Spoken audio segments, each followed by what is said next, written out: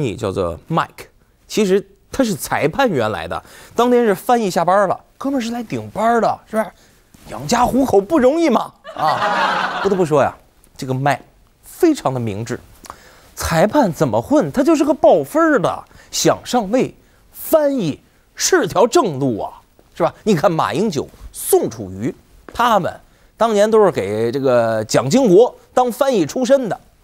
马英九当年当翻译的时候啊，是刚从美国回来不久，被垃圾食品养的那是人高马大呀！啊，文雅的说，那什么衣服穿上都很塑形啊。作为翻译，他被勒令减肥，因为当时候这个马英胖啊，总是撞到蒋经国和外宾之间摆的那个茶几儿，咣当咣当，上面就连茶杯都不敢放啊，给小蒋同志渴的呀。啊、但不要以为做了翻译就会有好下场。马英九那是命好，俗话讲，站对了队了。还有一位翻译仁兄，学这个阿拉伯语的，很不幸，在二零零九年联合国大会担任了同声传译。更不幸的是，摊上了卡扎菲一时兴起跑来开会。最不幸的是，那是卡扎菲执政四十年头回上联大发言，那憋了一肚子的话呀，限时十五分钟，被他喷了一百分钟不止。结果卡扎菲这儿啊还讲着呢，嘚吧嘚吧嘚吧嘚吧嘚吧，就听那话筒里边传了一声阿拉伯语的巨吼：“我再也受不了了！”这是来自人民的呼声啊！或许受此事影响。同样学习阿拉伯语的何炅老师就果断地遁入了娱乐圈嘛啊！其实对于中国老百姓来说呀，翻译官的形象似乎是这样的。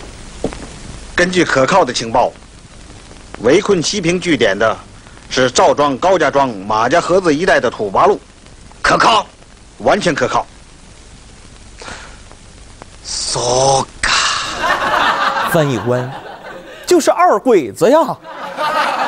哎，我我有点搞不懂啊，这个电影里的鬼子呀，我看都是说中文的，那还要翻译做什么用啊？其实掌握一门外语啊，挺好，就是给自己打开了一扇通往外国文化的大门。但是保不齐哪天要是真打仗了，投敌叛变什么的也方便点是不是？语言呢，它也是知识的一种，多学一些，艺多不压身嘛。有句话说得好，知识就是力量。虽然有的时候，无知似乎更有力量一些哈。广告之后见吧。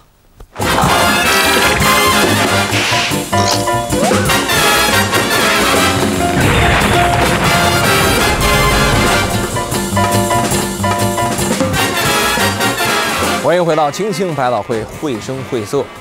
最近我的心情特别特别的舒畅。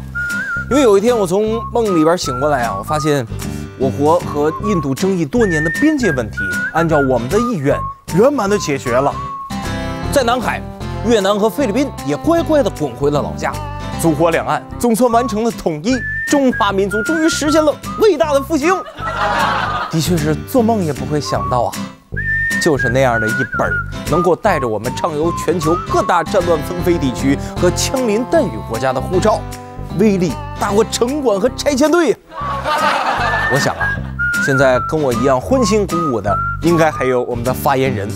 终于不用天天我们抗议了，现在都是外国向我们抗议。希望各方保持克制，我们再练一练舰载机，就去慰问你们啊。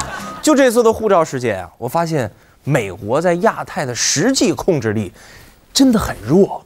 美国都认可了，哎，这小弟们还叫嚣，看来他们之间也充分的体现了集团内民主的特点呀。呃，所以美国说要重返亚太，搅浑这潭水，要我说，昏招；要菲律宾说，又可以犯浑了。日本呢得大喇叭广播，全国妇女同志们注意啦，我们即将迎来新一轮混血儿的出生高潮啦。为了维护主权和领土的完整，岂止是中央殚精竭虑，就连地方也是呕心沥血啊！几名河北献县的企业家，哎，最近呢就被这个乡税务所的负责人叫到一起开了个小会儿。呃，就是在这个会上，税务所的负责人呢向他们透露一个国家机密。他说呀，《人民日报》之前发了一篇社论，根据他多年看报、夜观天象的经验，他判断中日必有一战呐，同志们啊！所以啊，虽然各位我知道税呀已经交齐了。但是为了支援国家，咱们打败小日本为了配得上咱们这个县县的这个县，是不是？还是希望大家献爱心，再交一轮税吧。如此高的思想觉悟，真是让人很感动。我建议啊，为了成全这位负责人，咱们国家立刻应该把他的财产收入国库，把他本人送上前线吧。保家卫国，为国争光啊！不仅需要动嘴皮子，还得动手。我们执着的邻居韩国就坚持不懈地做着光宗耀祖的事儿，为了证明整个宇宙都是属于高丽民族的啊，韩国一直致力于发射拥有部分自主知识产权的罗老号火箭，在经历了十几度的推迟、两次失败的发射之后，韩国宇航局发话说了，我们百分之九十九，百分之九十九点多哈，肯定要在二零一二年十一月二十九号这一天完成发射。于是乎啊，北边的朝鲜开足马力开骂，南边的菲律宾家家户户撑开伞，避免被砸，群情期待，等着看满天的烟花呀。但谁能想到，在倒计时十六分钟的时候，韩国又中断了发射。我的妈呀，不就放个炮吗？用得着这么磨叽吗？啊，就这个罗老号这个名字呀。啊罗姥姥号，来自发射基地的名字。其实韩文的发音，呃，应该是大大概啊，纳罗号，纳罗后，这这个音儿不像是罗老，像是老罗号。哎，老罗号，滴滴滴吹，发射火箭全靠吹呀。啊，这这是半岛通病，是不是？都说世上最难对付的人呢，不是你的敌人，而是你的领导。可现在看起来不一定哦。啊，前不久。湖南娄底市，呃，和新化县的部分领导来到了新化县水车镇和水车镇呢、文田镇的凤家镇三个乡镇新当选的县人大代表来座谈。而在这个行程之中，水车镇人民政府没有给参与会议的人员发香烟，也没有招待用餐。与会的领导都是自己掏腰包填饱的肚子。这一举动博得了乡镇群众的一片喝彩声，同时呢，也博得了我个人。对水车镇官员们未来仕途的深深担忧啊！还有广西兴安县在对付领导方面也同样表现得游刃有余啊！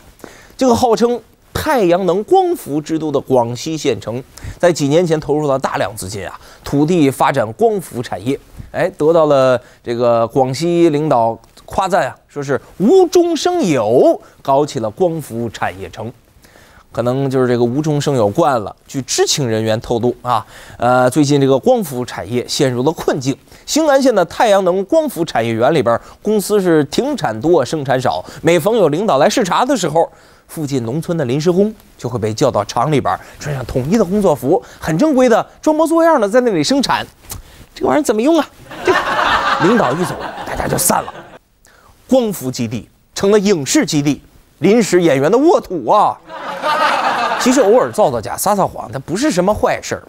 英国剑桥的帕斯中学就有一项这样的校规：只要学生啊能在十秒钟之内为自己犯下的错误找到借口，就可以避免惩罚。校长的理由是，撒撒谎有助于培养学生的交流技巧，在十秒钟之内，他要是能够迅速找到借口，是可以培养他。思维敏捷、善于交流的青年一代，哎，有助于他们将来的成功啊！我在这里表示，本人可以为该校提供教材啊，回头我给你们推荐几份中文报纸和电视节目啊。其实啊，撒谎已经成了这个时代生存的基本条件之一了。你看，这个英国的中学生都想明白了，应该怎么与时俱进嘛。我们经常听到一些有识之士说：“哎，现在的社会道德滑坡，诚信缺失，价值沦丧。”然后教育大家，中华民族自古以来最重要的美德就是诚信。这是五千年来中国人一直倡导的精神财富。但是我觉得，但凡什么玩意儿被倡导，那一定是这个东西存世量太少啊！你幸福吗？嗯。从咱们自古以来就倡导诚信这个事儿来看，我推测自古咱们这儿的诚信人士没比熊猫多几个。嗯，其实撒谎是个再平常不过的事儿。领导开会说：“今天我只说三点，意思就是我只说三个点儿啊。”小三儿说：“我跟你结婚不是为了你的钱。”其实后面还一句：“那还能是为啥呢？” 你肯定也说过谎的。见到同事的小孩，第一句就说：“哎呦。”长得太像你了，其实心里想的是，哎呦，这孩子长得太老像了，长得比你还磕碜。哎，所以我总觉得呀，当下社会的很多问题，并不是因为撒谎而引起的，而是因为很多人都不明白，自己应该是干嘛的。比方说，一个教育台，请什么干路的我，请来了，你还不教育他，还玩的那么嗨，所以为了。